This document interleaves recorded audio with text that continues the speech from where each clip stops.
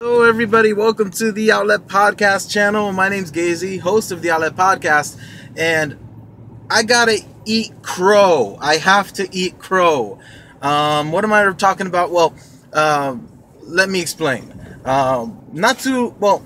A little while back, if you go back and check out some of my earlier vlog entries, I really went after whitewashing in Hollywood, and specifically, I really went after um, Scarlett Johansson when I first heard that she's going to be Major Katsuragi in the new Ghost in the Shell movie that's coming out.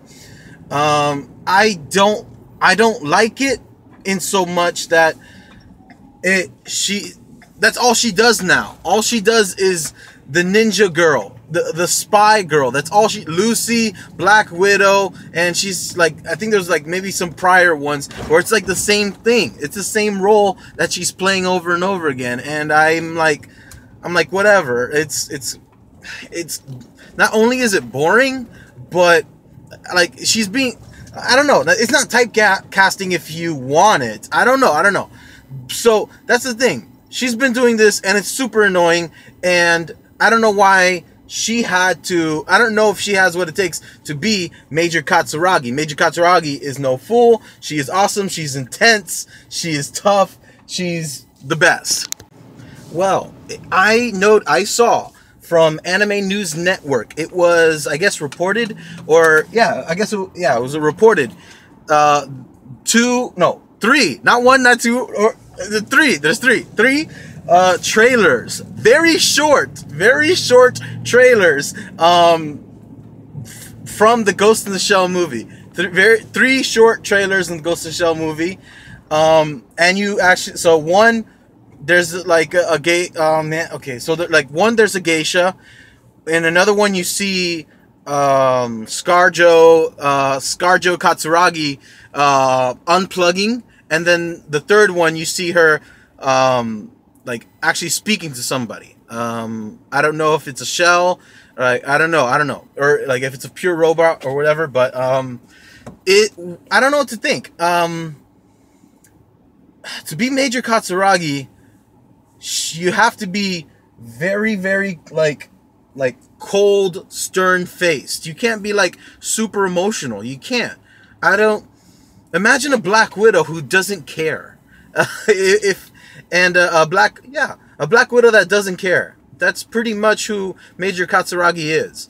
Uh, and unbelievably tough. I mean uh, the toughness of a super spy in the marvel universe compared to the toughness of a covert secret operative unbelievably military trained hardcore person in an anime that's there it's like two different types. So it's very intense and it actually it's very cool. It's very cool. So i i'm i have to eat crow because i liked it. I liked it. I liked what i saw. I i don't like the idea i don't like the i don't like the idea of whitewashing. I really don't. Um i think it's embarrassing. I think it's shameful. Now while i don't agree with that I don't agree with whitewashing. H- Hollywood is just general. Hollywood says, hey, this person has a big name. They can make us a lot of money. They've done this type of movie before. You're going to go and watch it. You, you know, so don't, so I don't see what the problem is. In that respect, I'm okay. I'm like, okay, I, I get it. I think Hollywood makes sense in that regard. Um, and so I, am on both sides of the fence here. Um, are there Japanese actresses or Asian any type of any Asian actress who can fulfill a role such as one of Major Katsuragi? Yes. Where are they? I don't know.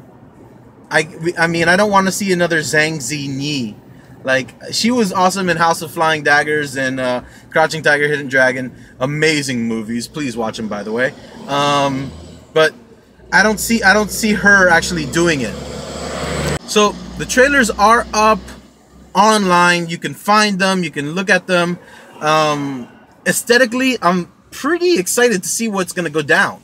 If you know anything about Ghost in the Shell, you know it it what it warped your mind more than Inception in a different way than Inception warped your mind when Inception first came out. This is a different type of uh, warp. Uh, like things that you didn't even think about, you started considering.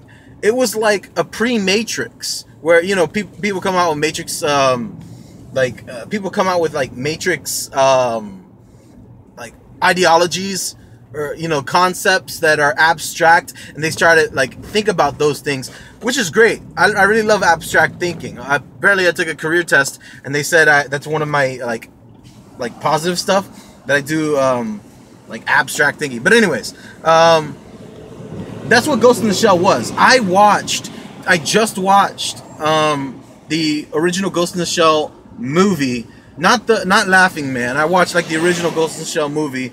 Um, very aesthetically pleasing. I mean, the animation was um, the animation was inhibited by the time, so that stinks you know, because you know technology. Like sometimes great works of art. Oh, look at the sun, sun rays. Uh, sometimes great works of art are inhibited by. There we go. Wham. Like the by the times. I mean, okay, you got the Sistine Chapel, which is amazing that you can that that was able that was ha, that had been able to been done, which is great. But there are other great things that just won't get that same pop and, pomp and circumstance because the lack of technology. So, um, I Ghost in the Shell is one of those things that even if you're an if you're an anime fan now, if you just start or you just started to be an anime fan, don't look down upon old animes. Your Evangelions, your original Gundam Wing, your Trigun, you know, early, you know, well, you got Dragon Ball.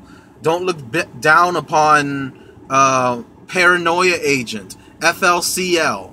Don't look down upon these animes because these animes, Cowboy Bebop, great example. Don't look down upon them because they paved the way. They further, they furthered the ideology of tropes, which you find so much in current animes. So definitely, listen, take my advice don't look down upon these animes. Check them out. Check out Ghost in the Shell.